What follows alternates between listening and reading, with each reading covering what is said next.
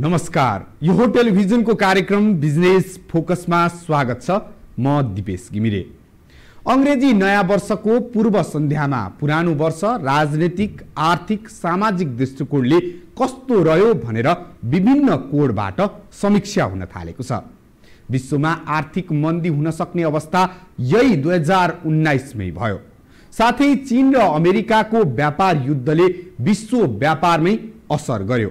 त्यस्तै भारतमा छाएको आर्थिक मन्दीले विश्वका ठुला अर्थतन्त्र भएका देशलाई मात्र होइन नेपाललाई पनि सोच्न बाध्य बनायो। अत अर्थतन्त्रको छायाको रूपमा रहेको विश्वको सेयर बजार भने सन्तोषजनक नै देखिएको छ।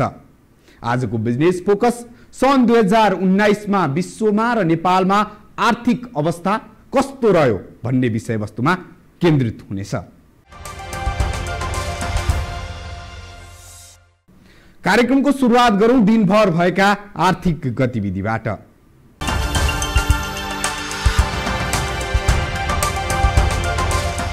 केन्द्रीय ब्याङ्कले आफ्नो उत्पादन तथा पेन्सन कोषमा रहेको एक अर्ब चालिस करोड रुपियाँ वाणिज्य बैङ्क विकास बैङ्क र फाइनेन्स कम्पनीहरूको मुद्दती निक्षेपमा लगानी गर्ने भएको छ। राष्ट्र ब्याङ्कले एक वर्ष अवधिका लागि मुद्दती निक्षेपमा लगानी गर्न लागेको जनाएको छ। केन्द्रीय ब्याङ्कका अनुसार क वर्गका वाणिज्य बैङ्कमा एक अर्ब बाह्र करोड रुपियाँ ख वर्गका विकास बैङ्कमा एक्काइस करोड रुपियाँ र ग वर्गका वित्त कम्पनीहरूमा सात करोड रुपियाँ निक्षेपका रूपमा लगानी गरिनेछ। नेपाल स्टक एक्सचेन्ज नेप्से परिसूचक सोमबार पाँच दशमलव पाँच तिन अङ्कले बढेर एक हजार एक सय सतसठी दशमलव नौ पाँचको अङ्कमा कायम भएको छ। परिसूचकसँगै कारोबार रकममा पनि वृद्धि देखिएको छ। एक सय सतहत्तरवटा कम्पनीको चौध लाख एकानब्बे हजार किता सेयर सात हजार अडतिस पटकको खरिद बिक्रीबाट बैसठी करोड तेइस लाख त्रिसठी हजार रुपियाँ बराबरको कारोबार भएको छ। ब्याङ्किङ विकास ब्याङ्क जलविद्युत र वित्त समूहको उपसूचक घटेको छ भने बाँकी सबै समूहको उपसूचक बढेको छ।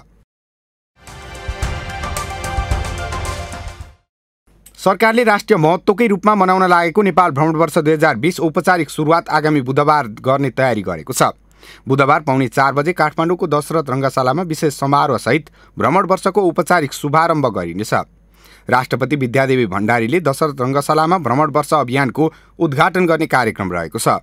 औपचारिक उद्घाटन दशरथ रङ्गशालामा भए पनि सम्पूर्ण सङ्घ संस्था तथा सर्वसाधारणलाई दीप प्रज्वलन गरी मनाउन सरकारले आग्रह गरेको छ। बैङ्क तथा वित्तीय संस्थाको प्रमुख कार्यकारी अधिकृत हटाउनका लागि नेपाल राष्ट्र बैङ्कले सहमति लिनै पर्ने ऐन संशोधनको प्रस्ताव गरेको छ। व्यवस्थामा बैङ्कको सञ्चालक समितिले जुनसुकै बेला निर्णय गरेर सिइओको बर्खास्त गर्न सक्ने साबिकको व्यवस्था संशोधन गर्न लागेको हो। सिइओको काम सन्तोषजनक नभए हटाउन सकिने तर राष्ट्र बैङ्कको सहमति लिनै पर्ने प्रावधान बैङ्क तथा वित्तीय संस्था सम्बन्धी ऐन बाफिया दुई हजार त्रिहत्तरमा प्रस्ताव गरिएको छ। केही महिना अघि संसद सचिवालयमा दर्ता भएको बाफियाको संशोधन विधेयकले सञ्चालक समितिको विशेषाधिकार खोसेको हो।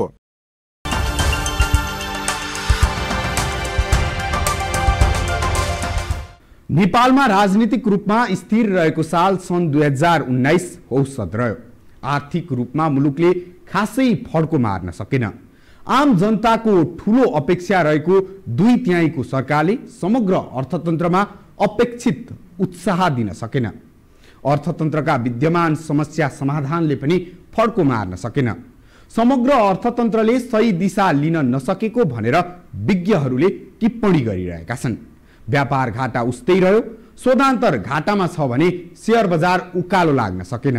साथै नेपालमा पहिलो धातु सुनको मूल्य यसै समयमा उचाइमा पुग्यो।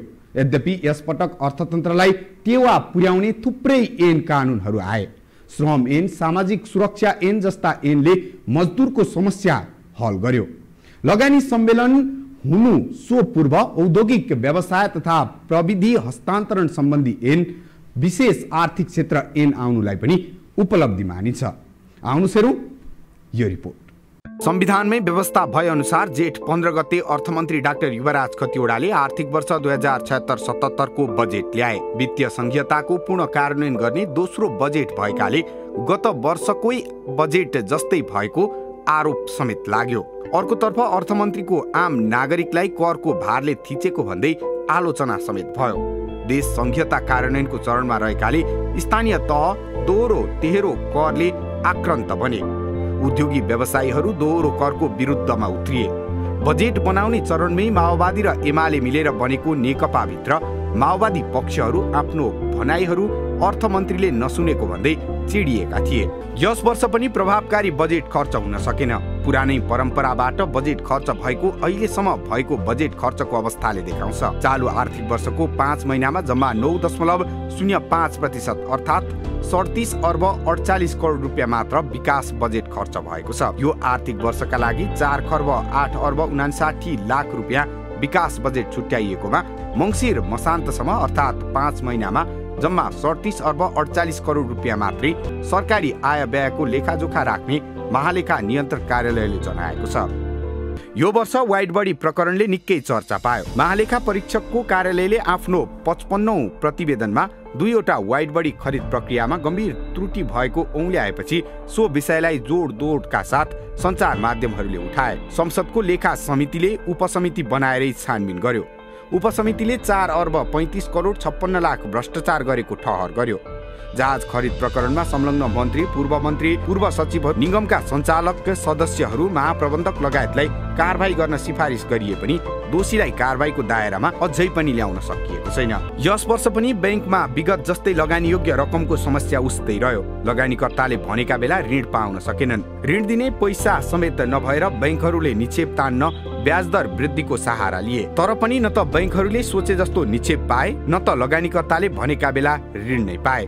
बरु उल्टो यसले समग्र ब्याङ्किङ प्रणालीमै समस्या निम्त्यायो। ब्याज दरमा वाणिज्य ब्याङ्कहरूले सिन्डिकेट नि लगाएपछि ब्याङ्कहरू नै कार्टेलिङको दुई ध्रुवमा उभिए। एक ब्याङ्कले सहमति उल्लङ्घन गरेपछि सबै ब्याङ्क मिलेर सो ब्याङ्कसँग अन्तर ब्याङ्क कारोबार नगर्ने सम्मको चेतावनी दिए।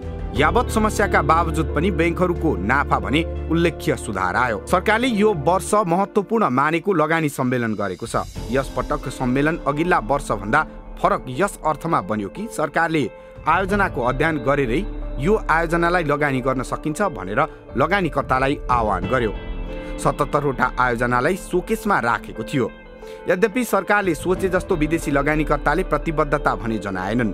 आयोजक नेपाल लगानी बोर्डले पत्रकारसँग खुलेरै यतिको वैदेशिक प्रतिबद्धता आउन सकेको भन्न अझै पनि सकेको छैन। सरकारको योगदानमा आधारित सामाजिक सुरक्षा कोषको पनि चर्चा यो वर्ष उत्ति नै भयो। सोचे जति रोजगारदाता र श्रमिक सहभागी नहुँदा पटक पटक यसको म्याद थपियो। तर अझै पनि विभिन्न माग राख्दै बैङ्क तथा उद्योगी यसमा सामेल नहुँदा यसको प्रभावकारितामा पनि प्रश्न उठेको छ। नेपालमा बैङ्किङ क्षेत्रमा सबैभन्दा चर्चाको विषय बन्यो साइबर क्राइम। चिनिया ह्याकरले नेपालको एटिएम मेसिनबाट गैर कानुनी रूपमा रकम निकाले। साथै कृषि विकास ब्याङ्कबाट पनि करोडौं रकम झिकियो। त्यस्तै जनता ब्याङ्कबाट सर्वसाधारणको खाताबाट नै रकम चोरी भयो। यसले ब्याङ्किङ क्षेत्रमा सन् दुई हजार उन्नाइसमा तहल्कै मचायो सन् दुई हजार उन्नाइसको जनवरी एकको तुलनामा नेपाली रुपियाँ डिसेम्बरको अन्तिम समयसम्म कमजोर देखिएको छ। वर्षको सुरुमा अमेरिकी डलर एकको बिक्री दर एक सय एघार रुपियाँ चौतिस पैसा रहेकोमा डिसेम्बरको अन्तिममा एक सय तेह्र रुपियाँको आसपासमा रहेको छ। त्यस्तै युरो एकको बिक्री दर जनवरी एकमा एक सय सत्ताइस रुपियाँ रहेकोमा डिसेम्बर अन्तिममा एक सय छब्बिसको आसपासमा रहेको छ। त्यस्तै अस्ट्रेलियन डलर एक वर्षमा करिब एक रुपियाँले बढेको छ। त्यस्तै क्यानेडियन डलर करिब सात रुपियाँ साउदी रियाल कतारी रियाल र युए दिराम एक रुपियाँले बढ्दा मलेसियन रिङ्गेट भने एक वर्षमा एक रुपियाँले घटेको छ। नेपालको सेयर बजार पनि दुई हजार उन्नाइसमा निराशाजनक नै रह्यो। यति बेलै लगानीकर्ताहरू सेयर बजारमा सुधारको माग राख्दै आन्दोलनमा उत्रिए र सेयर बजारमा केही दिन कारोबार समेत ठप्प बनाए। साथै नेप्सेले ल्याएको अनलाइन प्रणालीको पनि चर्को विरोध भयो। दुई हजार उन्नाइसको जनवरी एकमा एक हजार एक सय पचासी दशमलव नौ एकको बिन्दुमा रहेको नेप्से विभिन्न उतार चढाव झेल्दै डिसेम्बरको अन्त्यमा एक हजार एक सय साठीको आसपासमा आएको छ। यस बिचमा नेप्से तेह्र सय एक्काइस बिन्दुसम्ममा पुगेको थियो। त्यस्तै न्यून बिन्दु एक हजार एक सय एकसम्म ओर्लिएको थियो। सन् दुई हजार उन्नाइसमा नेपाली सुनको मूल्यले पनि कीर्तिमान बनायो। अगस्त छब्बिसमा नेपाली बजारमा छापावाला सुनको मूल्य इतिहासको सबैभन्दा बढी तिहत्तर हजार पाँच सय रुपियाँ पुगेको थियो। दुई हजार उन्नाइसको जनवरी एकमा उनासाठी हजार आठ सय रुपियाँ रहेको सुनको मूल्य डिसेम्बर अन्तिममा आइपुग्दा तेह्र हजार पाँच सयले बढ्दै त्रिहत्तर हजार तिन सयमा आइपुगेको छ। त्यस्तै चाँदी जनवरी एकमा सात सय पैँतालिस रहेकोमा डिसेम्बर अन्तिममा प्रतितोला एक सय चालिस रुपियाँले बढ्दै आठ सय पचासीमा आइपुगेको छ। चीन अमेरिका व्यापार तक्रावका कारण सुनको भाउ दुई हजार उन्नाइसमा उकालो लागेको हो। साथै लगानीकर्ताका लागि अन्तर्राष्ट्रिय बजार अस्थिर तथा सेयर बजार असन्तुलन भएकाले लगानीकर्ता सुनतर्फ आकर्षित भएका कारण सुन विश्व बजारमै बढेको विश्लेषण गरिएको छ। यस वर्ष धेरै एनहरू आएका छन् जसलाई आधार मानेर अर्थतन्त्र सञ्चालन हुनेछन्। औद्योगिक व्यवसाय तथा प्रविधि हस्तान्तरण सम्बन्धी ऐन विशेष आर्थिक क्षेत्र ऐन यो वर्षको उपलब्धि हो जसले लगानीकर्तालाई सहजता थप्नेछ। कतिपय ऐन पारित हुने चरणमा छन्। सार्वजनिक निजी साझेदारीको विषयलाई यसपटक ऐनले समेट्न सकेको छैन। ब्याङ्किङ सम्बन्धी ऐनहरू साइबर सम्बन्धी ऐनहरू सरकारले संसदमा टेबल गर्यो। सन् दुई हजार उन्नाइसमा आर्थिक रूपमा जे जे घटना भए ती सकारात्मक र सम्झन योग्य भने खासै देखिएनन्। हामीसँग विश्वको आर्थिक सूचक र घटना बाँकी नै छ। अहिलेलाई भने यो छोटो विश्राम। विश्रामपछि पुनः स्वागत छ कार्यक्रम बिजनेस फोकसमा। विश्वमा सन् दुई हजार उन्नाइस आर्थिक रूपमा निकै निराशाजनक रह्यो। चीन र अमेरिकाको व्यापार युद्धले आक्रान्त परेको विश्व अर्थतन्त्र भारतको आर्थिक मन्दीले पनि उसै गरी सतायो। त्यस्तै यस वर्ष विश्वका ब्याङ्कहरूले कर्मचारी कटौती गर्नाले ब्याङ्किङ क्षेत्र पनि उसै गरी प्रभावित भयो। तर विश्वको स्टक मार्केट भने यो अवधिमा सकारात्मक नै रह्यो। कस्तो रह्यो त विश्वको आर्थिक रूपमा दुई हजार उन्नाइस? हेरौँ यो सामग्री। सन् दुई हजार उन्नाइसमा विश्वभर ब्याङ्कहरूले उच्च सङ्ख्यामा रोजगारी कटौतीको घोषणा गरेका छन्। अर्थतन्त्र सुस्ताएसँगै कर्मचारीलाई कामबाट निकालिएको हो। यस वर्ष पचास भन्दा धेरै ब्याङ्कहरूले कुल सतहत्तर हजार सात सय असी रोजगारी कटौती गरेको घोषणा गरेको विश्व ब्याङ्कले जनाएको छ। यी मध्ये अधिकांश कटौती युरोपेली ब्याङ्कमा भएका छन्। लामो समयदेखि नकारात्मक ब्याजको भार थेगिरहेका ब्याङ्कहरूले बयासी प्रतिशत रोजगारी कटौती गरेका छन्। यस वर्षको कटौतीसँगै विगत छ वर्षको विश्वमा ब्याङ्किङ क्षेत्रमा रोजगारी कटौती कटौती चार लाख पच्चिस हजार माथि पुगेको छ। भारतीय व्यापारी तथा एसियाका सर्वाधिक धनी व्यक्ति मुकेश अम्बानीका लागि यो वर्ष निकै राम्रो रह्यो। सन् दुई हजार उन्नाइसको डिसेम्बर तेइससम्मको अवधिमा उनको सम्पत्ति करिब सत्र अर्ब डलरले बढेको छ। यो सँगै अम्बानीको सम्पत्ति बढेर एकसठी अर्ब डलर पुगेको छ। सोही अवधिमा चिनिया अनलाइन कम्पनी अलिबाबा ग्रुपका संस्थापक ज्याक माको नेटवर्क एघार अर्ब तिस करोड डलरले बढेको छ।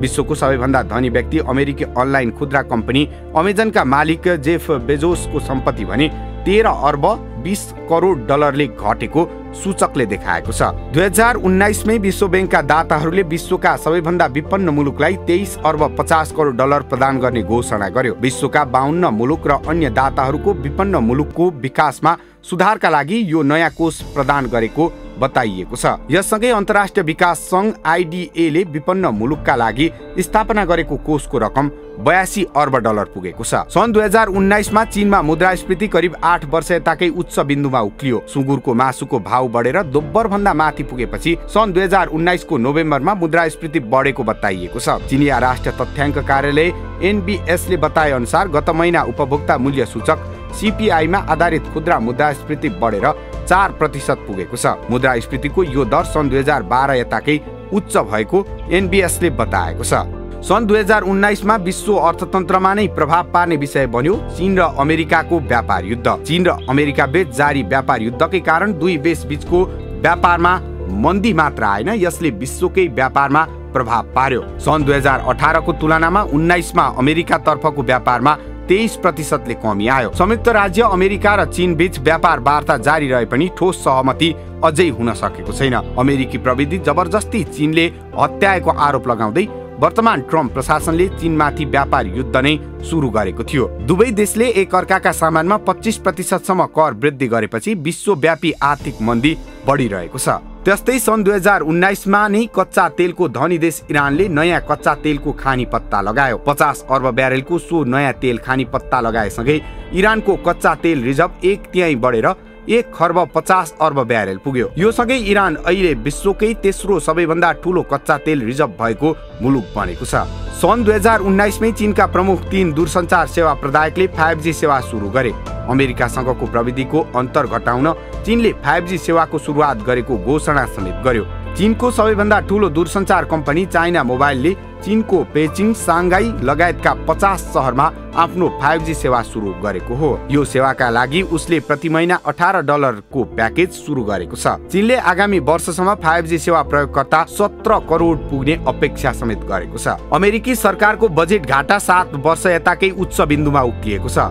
उच्च सरकारी खर्च र कर्जा सेवा भुक्तानीमा भएको वृद्धिले करदाताको सङ्ख्यामा भएको वृद्धिलाई उछिन्दा घाटा बढेको त्यहाँको अर्थ मन्त्रालयले बताएको छ। सेप्टेम्बर तिसमा सकिएको आर्थिक वर्षमा अमेरिकी सरकारलाई नौ खर्ब चौरासी अर्ब डलर बजेट घाटा भएको छ। घाटाको यो आकार अमेरिकी कुल ग्रास्त उत्पादन जिटिपीको अनुपातमा चार दशमलव छ प्रतिशत भएको हो। सन् दुई हजार उन्नाइसमै बहुपक्षीय करदाता निकाय अन्तर्राष्ट्रिय मुद्रा कोष आइएमएफको प्रमुखमा क्रिस्टालिया जियोइभा चयन भएकी छन्। उनले अक्टोबर एकदेखि पाँच वर्षका लागि कोषको प्रमुख जिम्मेवारी सम्हालेकी हुन्। युइभा यसअघि विश्व ब्याङ्कको प्रमुख कार्यकारी थिइन्। कोषको प्रमुखको पदका लागि युइभाको मात्र मनोनयन परेको थियो। विश्व सेयर बजार सन् दुई हजार उन्नाइसमा निकै उतार चढाव झेले पनि अन्त्यमा भने नयाँ उचाइमा आएको छ। सन् दुई हजार उन्नाइसको अहिलेसम्मको अवधिमा विश्व सेयर बजारका लागि निकै उत्साहपूर्ण रह्यो। यस वर्ष सेयर बजारको मूल्य एक सय सत्तरी अर्ब डलर भन्दा धेरैले बढेको छ। वर्षको सुरुमा विश्वको सेयर मूल्य सात सय खर्ब डलर भन्दा तलै रहेको थियो। तर अहिले यो बढेर आठ सय पचास खर्ब डलर नागिसकेको छ। त्यस्तै एसिया प्रशान्त क्षेत्रका उन्चास देशहरूको सेयर प्रदर्शन मापन गर्ने एमएससिआई सूचक शून्य दशमलव दुई छ प्रतिशतले बढेर डिसेम्बरको अन्त्यमा अहिलेसम्मकै उच्च बिन्दुमा पुग्यो। यस वर्षको अवधिमा एमएससिआईको बृहत सूचक पन्ध्र दशमलव पाँच प्रतिशतले बढेको छ। त्यस्तै अमेरिकाको डाउजोनको सूचक पनि एक वर्षमा करिब तेइस प्रतिशतले बढेको छ। त्यस्तै एसएनपी फाइभ हन्ड्रेड इन्डेक्स करिब तिस प्रतिशतले र ब्राजिलको भोस्पा स्टक इन्डेक्स एक वर्षमा करिब छत्तिस प्रतिशतले बढेको छ। त्यसै गरी युरोपका मेजर इन्डेक्समा एफटिएसआई हन्ड्रेड करिब सोह्र प्रतिशतले सिएससी फोर्टी करिब तिस प्रतिशत युरोनेक्स्ट हन्ड्रेड करिब एकतिस प्रतिशत र स्विच मार्केट इन्डेक्समा पनि करिब एकतिस प्रतिशतले दुई हजार उन्नाइसमा वृद्धि भएको छ। त्यस्तै एसियन बजारमा पनि स्टक मार्केट सन् दुई हजार उन्नाइसमा सन्तोषजनक नै रह्यो। एसियाका मेजर इन्डेक्समा भारतको बम्बई स्टक एक्सचेन्ज सेन्सेस जनवरीको तुलनामा डिसेम्बर अन्तिममा करिब सोह्र प्रतिशतले बढेको छ। त्यस्तै हङकङको हाङस्याङ करिब एघार प्रतिशत जापानको निकी टु टु फाइभ करिब उन्नाइस प्रतिशत र ताइवानको टिएसइसी फिफ्टी इन्डेक्स करिब साढे पच्चिस प्रतिशतले बढेको छ। सन् दुई हजार उन्नाइसमा भारत आर्थिक मन्दीको चपेटामा गुज्रियो। सन् दुई हजार पाँचदेखि ब्याङ्किङ क्षेत्रमा सुरु भएको गलत अभ्यास र दुई हजार सत्रमा मोदी सरकारले गरेको नोटबन्दीका कारण बढ्दै गएको सङ्कट अटोमोबाइल्स टेलिकम रियल इस्टेट र निजी उद्योग मार्फत बाहिर आएको छ। ब्याङ्किङ क्षेत्रको सङ्कट बारे सबै गुपचुप रहे पनि एक्कासी केही महिना अघि सरकारले विभिन्न क्षेत्रमा राहतको प्याकेज ल्याएपछि मात्र यो विषय बहसमा सुरु भएको थियो। चालु आर्थिक वर्षको अक्टोबर महिनामा खुद्रा मूल्यको महँगी सोह्र महिनाकै उच्च बिन्दुमा पुग्यो। पछिल्लो एक वर्षमा पब्लिक सेक्टरका बैङ्कले साढे पाँच हजार एटिएम बन्द गरेका छन्। ठुला बैङ्कहरूले छ सय भन्दा धेरै बैङ्कका शाखाहरूमा ताला लगाए। सन् दुई हजार एघारमा दुई दशमलव नौ प्रतिशत रहेको राष्ट्रिय स्तरको ब्याङ्कहरूको खराब कर्जा दुई हजार अठार दुई हजार उन्नाइसमा आइपुग्दा करिब तेह्र प्रतिशत पुगेको छ। भारतको आर्थिक मन्दी व्यापार युद्ध लगायतले विश्वमा तहल्का मचाउँदा यसको असर कस्तो छ भन्ने जिज्ञासाको खोजी गर्न हामीले अर्थविद डाक्टर दिल्लीराज खनाललाई भेटेका छौँ। आउनुहोस् हेरौँ उहाँको भनाइ। पहिलो कुरा त यसले विश्वमा एक प्रकारको मन्दी ल्याउँछ कि भन्ने आर्थिक वृद्धि दरमा निकै न्यूनता आएको छ। र यो क्रम यो चाहिँ तपाईँको यो द्वन्द्व वा व्यापारिक युद्ध चाहिँ जारी भयो भने विश्व अर्थतन्त्रमा ठुलो ठुलो फेरि चाहिँ सङ्कट आउन सक्छ भन्ने किसिमका विभिन्न आङ्कलनहरू प्रशिक्षण प्रक्षेपणहरू भइरहेका छन्। यसले व्यापार घटाएको छ। प्रविधिको विस्तार र त्यसको प्रयोग त्यसले ल्याउने उत्पादकत्व वृद्धि अथवा एक प्रकारको विश्व अर्थतन्त्रमा आउने गति। र अझ त्यसमा पनि के छ भने जो भर्खर विकासमान राष्ट्रहरू छन् जस्तै नेपाल लगायतका राष्ट्रहरू तिनीहरूमा पुँजी प्रवाह नहुने प्रविधि नभित्रिने अनि उनीहरूले गरेको उनीहरूको व्यापार विस्तार वा अझ निर्यात चाहिँ नि नबढ्ने होइन? यसले थुप्रै तपाईँको प्रतिकूलता हाम्रा जस्ता देशहरूमा प्रतिकूलता थप्ने र विश्व अर्थतन्त्रमै मन्दीसँगै नयाँ ढङ्गले चाहिँ तपाईँको आर्थिक आर्थिक सङ्कट आउने र त्यो आर्थिक सङ्कटले फेरि तपाईँको सामाजिक सङ्कट ल्याउँछ अनि यो चाहिँ तपाईँको के हो भने सबभन्दा खतरा चाहिँ नि संरक्षणवाद होइन? यो अघि हामीले जुन व्यापार युद्धको कुरा गऱ्यौँ त्यसले संरक्षणवादलाई चाहिँ प्रोत्साहन गरेको छ। र त्योसँगै तपाईँको एक प्रकारले राष्ट्रवाद भन्ने चाहिँ नारासहित विभिन्न प्रकारले चाहिँ विभिन्न ठाउँहरूमा समाजमा चाहिँ नि द्वन्द्वहरू फैलिने चाहिँ एउटा स्थिति निम् निम्ताएको छ। त्यसो भएको हुनाले सद्भाव शान्ति विश्व सुरक्षा एउटा सुरक्षा त्यसमा थप प्रतिकूलता थपिएका छन्। त्यो सँगै अघि मैले भने जस्तो चाहिँ नि यसले सिङ्गो विश्व अर्थतन्त्रमा त्यससँगै फेरि चाहिँ जोडेर हेर्नुभयो भने हाम्रा जस्ता अर्थतन्त्रमा जो विकासमा धेरै अगाडि बढ्नको निम्ति चाहिँ प्रयत्नशील छन् तिनीहरूलाई पनि प्रत्यक्ष वा परोक्ष रूपमा प्रतिकूल असर परिरहेको एउटा प्रतिकूल भन्नुहोस् न। एउटा आशंका अनसर्टेनिटी फेरि पनि विश्व अर्थतन्त्रमा ठुलो सङ्कट आउने हो कि भन्ने त्यस्तो अनिश्चितता र अनसर्टेनिटीलाई चाहिँ नि यो हामीले दुई हजार उन्नाइससँग जोडेर चाहिँ नि हेर्न सक्छौँ। अहिले अब भारतको आर्थिक मन्दी नै के हो भन्ने कुरामा एक प्रकारको विवाद छ। सरकारका पक्षका मान्छेहरूले यसलाई क्षणिक भनिरहेका छन्। तर अरू कतिपय स्वतन्त्र अर्थविदहरूले चाहिँ अलि विश्लेषकहरूले चाहिँ यो संरचनागत वा यो अलि मध्य र दीर्घ प्रकृतिको भनेका छन्। त्यसो भएर पनि हाम्रो मैले यो किन जोड्न खोजेको भने नेपालमा असर के पर्छ भन्ने कुरा के हो भने त्यो क्षणिक हो भने तुलनात्मक रूपमा क्षणिक र केही कम असर पर्न सक्छ। तर मैले आफूले विश्लेषण गर्दाखेरि पनि त्यो संरचनागत दीर्घकालीन प्रकृति भएको हुनाले पाँच छ प्रक्रियाबाट चाहिने प्रोसेसबाट त्यो भन्छ नि ट्रान्समिसन मेकानिजम भन्छ नि।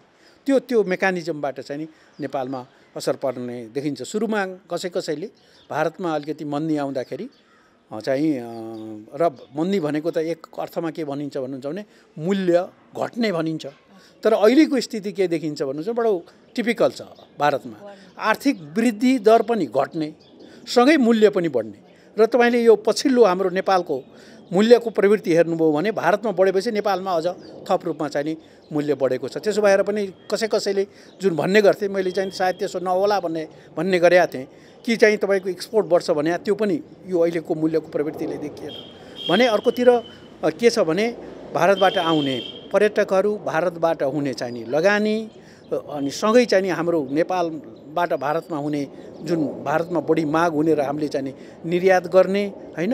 यी विविध क्षेत्रमा किनभने जसरी नेपाल र भारतको बिचमा व्यापार र आर्थिक सम्बन्ध जोडिएको छ र कतिपय नीतिहरू पनि लगभग एउटै प्रकृतिका एउटै डिरेक्सनमा एउटै बाटोमा हिँडेको हुनाले पनि भारतमा आउने चाहिँ तपाईँको मन्दी भन्नुहोस् वा भारतमा अलिकति अर्थ आर्थिक क्षेत्रमा आउने प्रतिकूलताले धेरै बहुआयामिक क्षेत्रमा नेपालमा चाहिँ असर पर्छ भन्ने मलाई लाग्छ। अब यसलाई अलिकति विश्लेषण गरेर हेर्नुपर्ने हुन्छ। तपाईँले सोझै हिसाबले गत दुई तिन वर्षको आर्थिक वृद्धि दर हेर्नुभयो भने औसतम सात प्रतिशतभन्दा बढी आर्थिक वृद्धि दर छ। यो यो आर्थिक वर्षकै विश्व ब्याङ्कले नै गरेको प्रक्षेपणमा चाहिँ नि छ पोइन्ट चार प्रतिशत छ। तर मलाई के लाग्छ भन्नुहुन्छ भने यद्यपि जोखिम छन् सरकारसँग थप चुनौती छ जसरी पुनर्निर्माणको काम भइरहेछ कृषिमा पनि धान बाहेक अरू उत्पादनमा त्यति धेरै प्रतिकूलता चाहिने आउने देखिँदैन। तपाईँको ऊर्जाको चाहिने नियमितताले गर्दाखेरि नियमित आपूर्तिले गर्दाखेरि उद्योग व्यवसायलाई हिजो जुन किसिमको प्रतिकूल असर थियो त्यसमा चाहिँ सुधार भएको छ। यद्यपि उद्योग व्यवसाय गर्नको निम्ति चाहिँ जग्गा प्राप्तिदेखि लिएर होइन अरू प्रकारका झन्झटहरू होइन त्यसले बढाउने कारोबार लागतहरू त्यो त्यो समस्या आफ्नो ठाउँमा छँदैछ। तर पनि आफू विद्युत ऊर्जाको आपूर्तिको हिसाबले चाहिँ त्यो सहर छ। हिजो अस्ति मात्रै पनि कुरा आयो। पुनर्निर्माणको काम पनि अगाडि बढाएको छ। तर पनि ब्याङ्किङ सेक्टरमा अलिक केही समस्याहरू अहिले चाहिँ थपिएका छन्। लगानी क्षमता विस्तार गर्नेमा बचतकै हिसाबले पनि र लगानीकै हिसाबले पनि र केही केही नीतिगत तपाईँको बेला बेलामा नीतिगत जुन किसिमको अनिश्चितता हुन्छ त्यसले पनि चाहिँ तपाईँको बचतकर्ता होइन उपभोक्ता बचतकर्ता वा लगानीकर्ता होइन निजी क्षेत्रलाई पनि एउटा चाहिँ थप जोखिमता थप्ने चाहिँ हुन्छ। त्यसैले आम रूपमा हेर्दाखेरि जस्तो सरकारकै तपाईँको खर्च खर्चभित्र अझ पुँजीगत हेर्नुभयो भने अस्ति मात्रै छ महिनाको तपाईँले नौ प्रतिशत पनि खर्च भइरहेको छैन। होइन? त्यसको सम्बन्ध सरकारले गर्ने आफैभित्रको खर्च र त्यसले पार्ने सिङ्गो अर्थतन्त्रमा निजी क्षेत्रलाई ब्याङ्किङ क्षेत्रलाई पार्ने असरलाई समग्रमा हेर्दाखेरि त्यहाँ पनि केही जोखिमता थपिएका छन्? तर मलाई के लाग्छ भने समग्रमा सरकारले खर्च गर्ने खास गरी पुँजीगत खर्चलाई चाहिँ बढाउने पुनर्निर्माणको काम जसरी अगाडि बढ्छौँ भन्ने प्रतिबद्धता आज त्यो गर्ने। एक हजार चाहिँ मेगावाट चाहिँ यो वर्षमा तपाईँले विद्युत चाहिने थपिनेदेखि लिएर जे जस्ता प्रतिबद्धतासहित र अलि हाम्रो टुरिज्म होइन अहिले पर्यटन वर्ष भएको हुनाले जुन मोमेन्टम जुन गतिका साथ टुरिस्टहरू भित्र हुने भनिएको छ यी सबैलाई तपाईँले ठिक ट्र्याकमा लिएर अगाडि जानुभयो भने मलाई लाग्छ हामी करिब सात प्रतिशतको आर्थिक वृद्धि हासिल गर्न सक्छौँ। त्यो आफैमा विगतको ऐतिहासिक चाहिँ नि तपाईँले त्यो कन्टेक्स्टलाई सन्दर्भलाई जोड्नु हो भने साढे तिन चार प्रतिशत भएको हिसाबले चाहिँ नि हो उच्च नै हो। तर पनि अर्थतन्त्रमा जुन किसिमका समस्या संरचनागत समस्या होइन अहिले तत्कालै केही उच्च वृद्धि हुने तर भोलि त्यो वृद्धि चाहिँ नि दिगो हुने हो कि होइन भन्नेतिर जुन किसिमका आशंका र समस्याहरू छन् त्यो समस्यालाई चिरेर जानुपर्ने खाँचो र आवश्यकता छ भन्ने मलाई लाग्छ। अहिले अमेरिकी राष्ट्रपति डोनाल्ड ट्रम्पको अमेरिका पहिलो भन्ने व्यापार विदेश नीतिले अन्तर्राष्ट्रिय व्यवस्था ध्वस्त पार्न सक्ने जोखिम निम्ति आएको छ। अन्य साना मुलुक विश्व अर्थतन्त्रका बारेमा चिन्ता व्यक्त गरिरहँदा अमेरिका चाहिँ जापान दक्षिण कोरिया चीन भारत युरोपेली देशलाई चिडियाइरहेको छ। यसले विश्व अर्थतन्त्र झन् अधोगतितिर नजाला भन्न सकिन्न। हवस् त आजलाई बिजनेस फोकस यति नै। नेपाल सरकारले राष्ट्रिय महत्त्वकै रूपमा मनाउन लागेको भ्रमण वर्ष दुई हजार बिस र अङ्ग्रेजी नयाँ वर्ष दुई हजार बिसको शुभकामना दिँदै बिजनेस फोकस टिम बिदा चाहन्छ। नमस्ते।